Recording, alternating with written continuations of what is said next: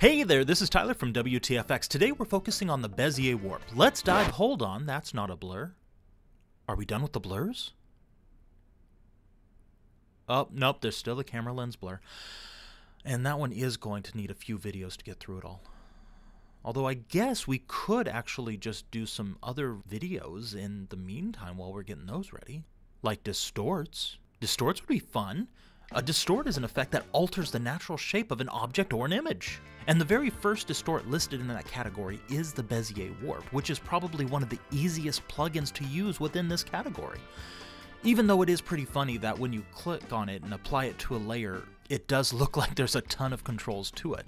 You see, once it's applied to a layer, there are 12 circles, and each one is manipulated by the controls in the effects panel. Looking over these controls, you'll notice that they seem to have the same words repeated over and over again in a different order.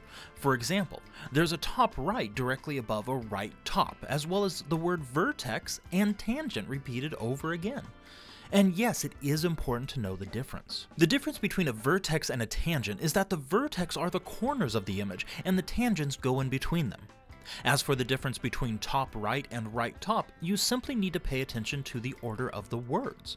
The first word tells you the side of the image that will be affected. Top, bottom, right, left. The second word is the direction. So for example, top right would be this tangent here, and right top is this tangent right here.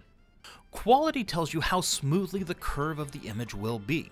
As you can see when we move this top right tangent here, with a quality of 10, the highest it goes, the curve is pretty smooth.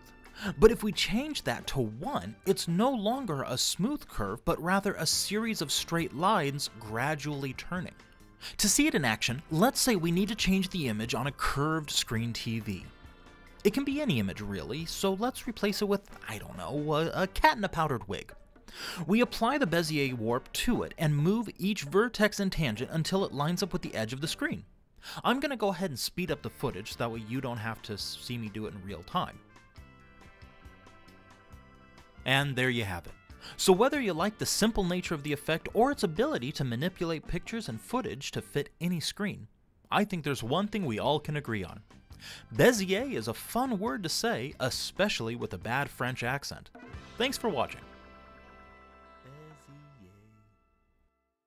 I am so sorry for what you just watched. See that big red subscribe button? Definitely don't click that and don't hit the bell icon either because doing either of those will let you know when we upload new content.